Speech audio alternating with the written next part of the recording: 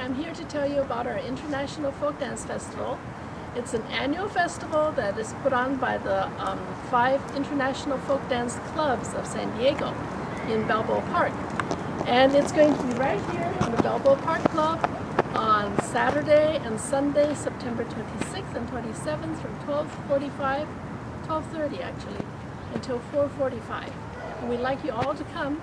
It's going to be a lot of fun. There's going to be um, lessons. There's going to be lots of dancing. There's going to be food. There are going to be vendors that are going to sell all kinds of crafts.